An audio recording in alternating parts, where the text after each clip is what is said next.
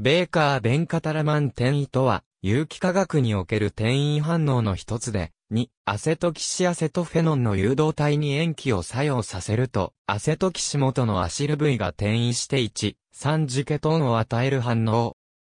1930年代に、ベーカーとベンカトラマンらがそれぞれ報告した。この転移反応ではまず塩基の作用により、エノラートが発生した後、アセトキシ V の炭素へ攻撃して、アシル元が移動する。クロモンやフラボン、クマリン骨格の合成過程で利用される。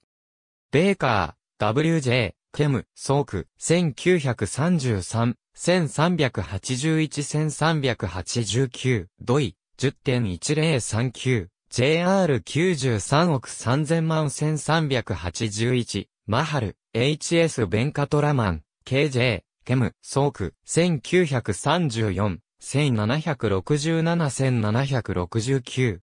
ドイ、10.1039、JR93 億4000万1767、ハットウィーラー、TS オーガニックシンテシーズ、コル、ボリューム4、P478 ボリューム32、P72 オンライン版ジャイン。